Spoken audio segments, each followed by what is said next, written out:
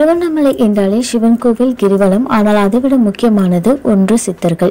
கிரிவலம் போகும்போது ஏராளமான சித்தர்கள் கூட்டத்தை நாம் அவதானிக்கலாம். மனிதர்களின் நலனுக்காகவும் மனித குலம் மேம்பட வேண்டும் என்ற எண்ணத்தினாலும் சித்தர்கள் பலர் குகைகளில் இருந்து வெளிவந்து உலகிய மனிதர்களுக்கு ஆசி வழங்குவது வழக்கம். அதிலும் திருவண்ணாமலை அடிவாரத்தில் வசிக்கும் மௌன சித்தர் என்ற சித்தரை பார்க்க பல பக்த அடியார்கள் அவரை நோக்கி படையெடுப்பது உண்டு. இவர் பல வருடங்கள் ஆகியும் இதுவரை யாரிடமும் ஒரு வார்த்தை கூட பேசியது கிடையாது என்று சொல்லப்படுகிறது.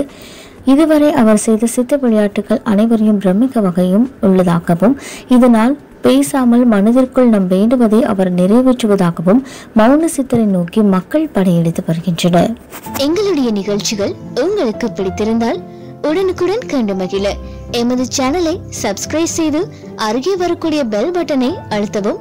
எங்களுடைய நிகழ்ச்சிகள் உங்களுக்கு மிகவும் பிடித்திருந்தால் உங்களுடைய நண்பர்களுக்கும் ஷேர் செய்யவும்.